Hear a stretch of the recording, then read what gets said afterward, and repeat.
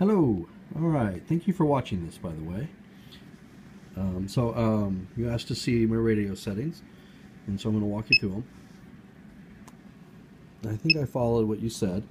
So I've got channel 8 on the radio hooked to the C button, and I use this uh, the IO iOS application, and when I flip the C button, I go from ATTI.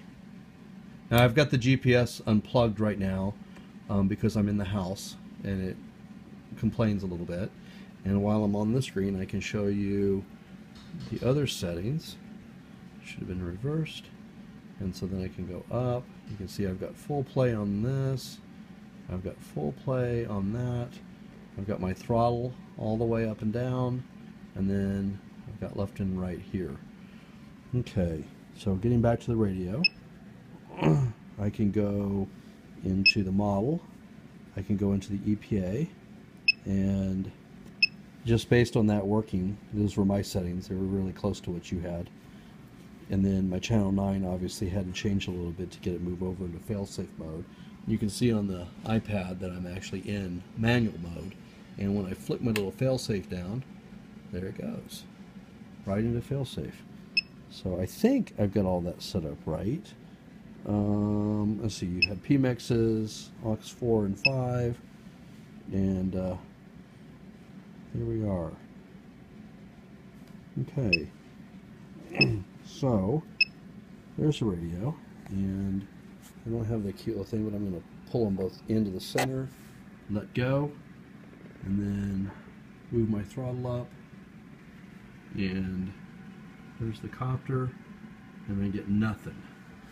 So I can also show that I have um, channel 8 hooked in to the U port and then everything else channel 1 is going into A channel 2 into E channel 3 into T and channel 4 into R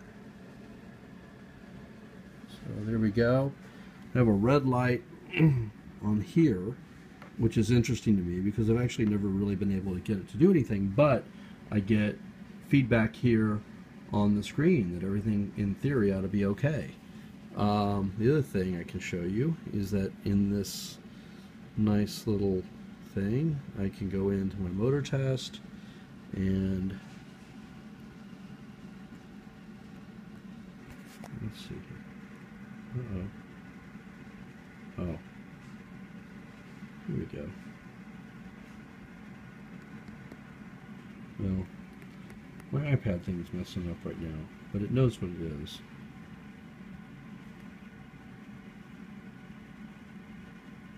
It knows what it is. Anyway, um, I will, if I find anything there, I will update you. Uh, for some reason, what I did is a complete reset and um, for some reason when I did the re complete reset it forgot what its mixer type was but I will fix that and test it and if that ends up working then I will not upload this video. Alright um, other than that thank you so much for your time. I appreciate you looking at this. Take care